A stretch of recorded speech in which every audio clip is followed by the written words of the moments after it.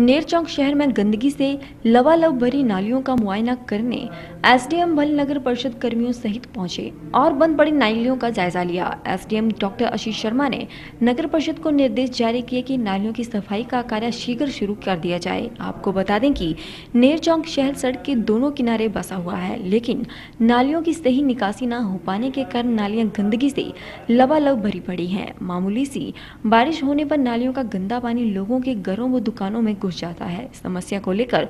व्यापारियों व लोगों द्वारा कई बार शिकायतें भी की गई, लेकिन नालियों की सफ़ाई नहीं की जाती है, जिसके चलते सभी लोगों में खासा रोष देखा गया। लेकिन व्यापार मंडल के माध्यम से मामले को एसडीएम के समक्ष उठाया गया और सड़क किनारे बनी बंद पड़ी नालियों का मौके पर जायजा लिया, जिस पर एसडीएम बल ने मौके पर ही नालियों की साफ़ सफ़ाई करने के निर्देश भी जारी कर दिए।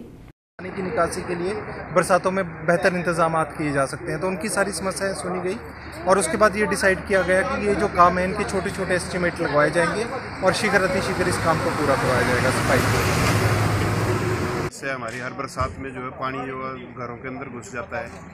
बाकी आउटफ्लो बाहर हो जाता है। जो हमारी जो अंदर की एंट्रेंस पानी की वेस्टेज पानी की बाहर आ रही है, वो नालियों का पानी ओवरफ्लो हो गया और बैक अंदर की तरफ़ जाता है, घर की तरफ़।